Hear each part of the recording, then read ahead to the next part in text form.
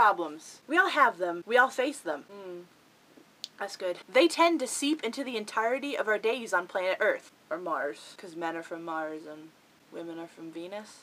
The fuck is that book about? And they fucking suck. Oh, they suck. Whether it be as small as missing the partner to your favorite sock, or as large as not knowing where your next paycheck is coming from. We all know where mine comes from. Make it rain, bitches!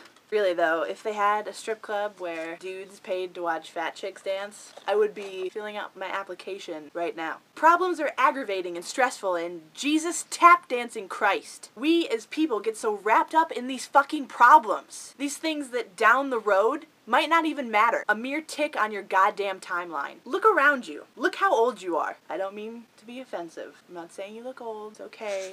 It's alright. I sometimes I say things I don't mean. Examine how far you've come, how much you've grown, mentally and physically. Or shrunk, as certain cases may be, both mentally and physically for that too.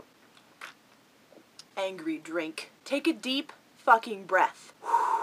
As if you were in labor probably. Try to remember, try to focus on what makes you you, on what's important. This too shall pass.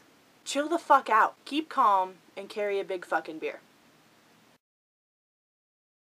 I have a hair in my mouth. See, that's a problem. I mean, seriously, people, the world is not ending. Just FYI. I mean, the rapture is what, rescheduled for October? Still got plenty of time to fucking go to church if you're all that worried about it. Punch myself in the face. Because I'm a decent member of society. Wait a second. How about this?